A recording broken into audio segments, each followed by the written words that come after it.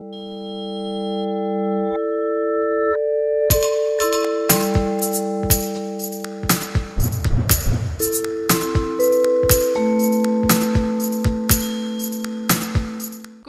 og velkommen til den første udsendelse af ugens Pensum. Et program, hvor vi hver uge leverer nyheder til studerende. I dag blandt andet med historierne, Universitetsradioen går til tv og studerende på udsalg i magasin. I det første indslag har vi dog vendt kameraet imod os selv for at se nærmere på, hvad man kan forvente sig af UniTV.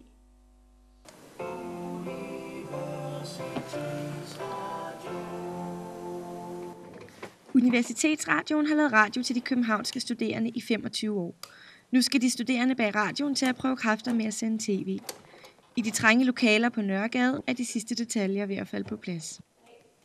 Vi vil jo gerne ud og møde de studerende i øjenhøjde, møde dem på fortogskanten, ikke? skildre deres liv. Hvad sker der i deres liv? Ikke? Gør det vedkommende for dem, fordi det mener vi ærligt talt, der mangler i, i dagens mediebillede. Ja, jeg synes, det kunne være rart at se nogle flere øhm, ting om, om folk, som kommer fra samme slag, og, altså, hvor man hører noget mere om, hvad der foregår i studerendes liv, og, ja, og høre lidt om, hvad de laver i, i hverdagen, og hvad de laver på andre fakulteter, end det man lige selv kommer fra.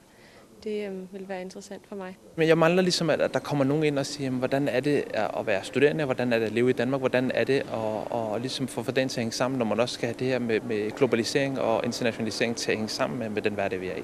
Øh, så, så jeg mangler lidt det perspektiv med, jamen, hvordan vil det her være godt for, for de mennesker, som skal ud på arbejdsmarkedet. UniTV sender hver onsdag og fredag på Kanal Hovedstaden. Holdet bag ugens pensum står for et 15 minutters nyhedsindslag hver onsdag. Målet er nyheder, der har relevans for studielivet. På redaktionsmødet bliver der arbejdet hårdt op imod deadline.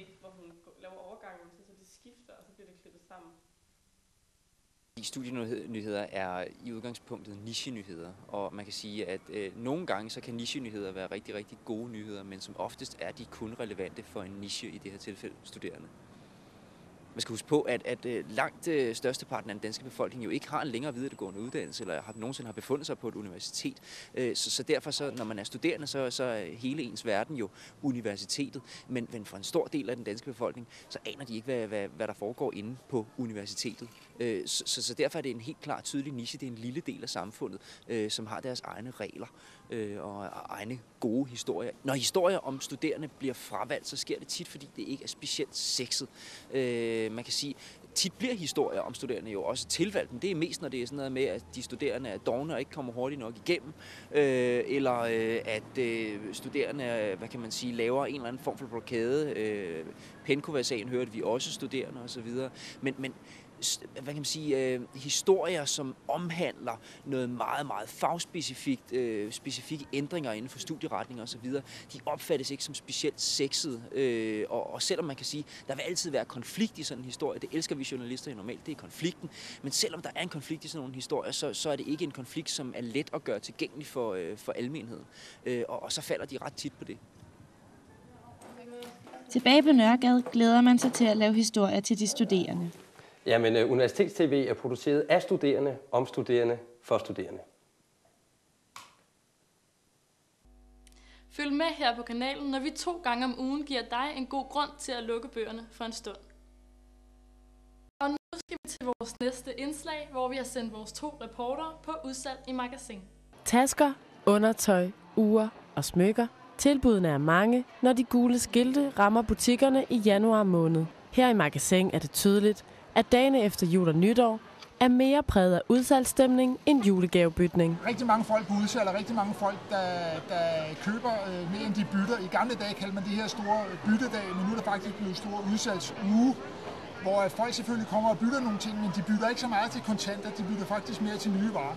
Og udsalget er det også et velkendt og udbredt fænomen. Ja, det har vi faktisk haft i en årrække. I gamle dage hed det januarudsalg, men, men det har været lige efter juni i ret mange år. Og det er faktisk det er ikke kun her i Danmark, det er også, hvis du ser rundt om i Europa, der starter udsalgene på de forskellige, øh, forskellige øh, webshops rundt om i Europa allerede den 25.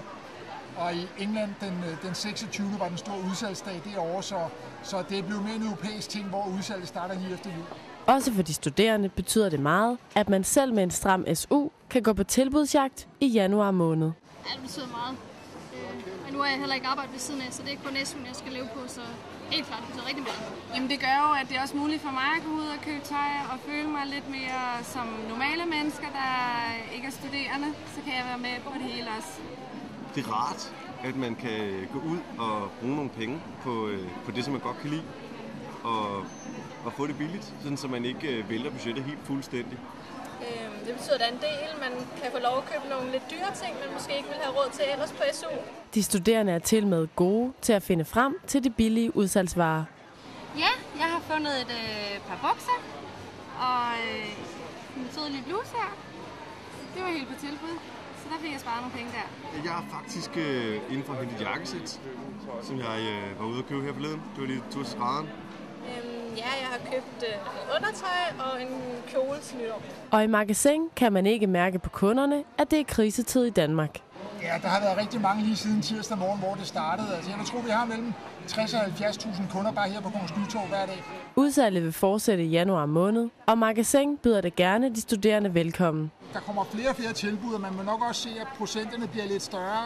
De rabatter, der bliver givet, jo længere man kommer ind i udsalget. Det er sådan en normal trappefunktion med. Så, så der vil jeg som studerende nok også lige holde øjnene åbne med at sige, hvad kommer der egentlig på, på virkelig slagtilbud her i, i ugerne i januar. Der kommer også nogle rigtig gode tilbud. Og selvom de studerende lige har været på julegaveindkøb, regner de fleste dog med at gøre sig nogle flere køb i løbet af januar måned. Jeg tror, det er nemt, man kunne falde over et eller andet tøj. Ja, nu har jeg ikke så mange penge lige efter julegaver og sådan noget, men jeg, har, jeg bruger nok en del penge på tøj generelt, så jeg køber nok lidt ekstra nu, når der er udsalg. Nej, jeg har ligesom brugt de penge, der skal bruges nu. De fleste butikker i København holder udsalg i resten af januar måned.